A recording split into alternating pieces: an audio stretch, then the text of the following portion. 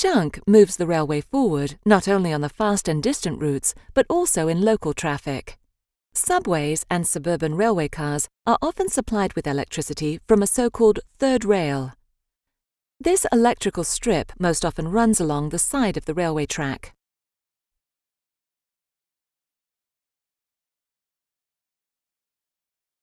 Current collectors transfer the electricity from the third rail to the train, and these current collectors come from Schunk, in the expected top quality.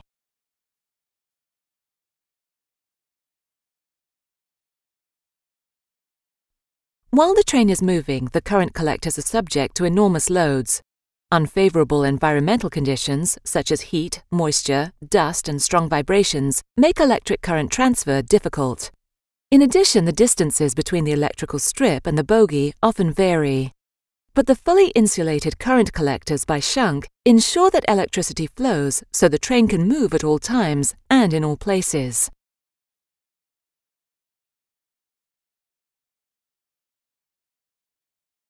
From regional trains to high-speed trains, Schunk offers the exactly right solution for every speed and every supply voltage.